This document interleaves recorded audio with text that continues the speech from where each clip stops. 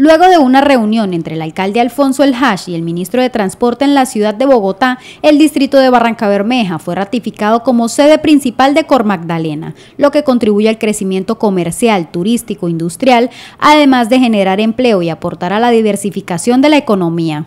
Hemos hecho una reunión muy productiva por Magdalena, la ANI, el Invías, Ministerio de Transporte, Alcaldía y nuestro senador Moreno. Eh, creo que ha sido como siempre, muy eh, satisfecha de sus pretensiones, hemos hablado de las vías y sabe que cuenta con el ministro de Transporte y con el gobierno en sus proyectos que son proyectos de país.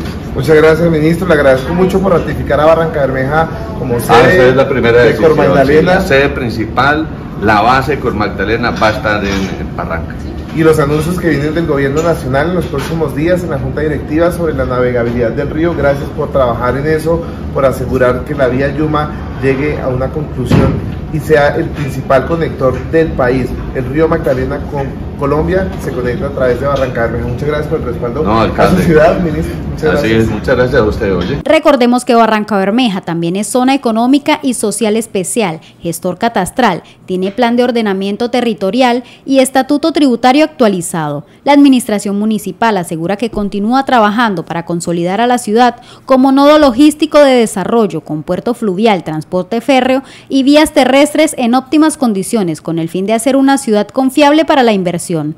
Esta reunión también contó con el acompañamiento de la Agencia Nacional de Infraestructura, Instituto Nacional de Vías y el senador Gustavo Moreno.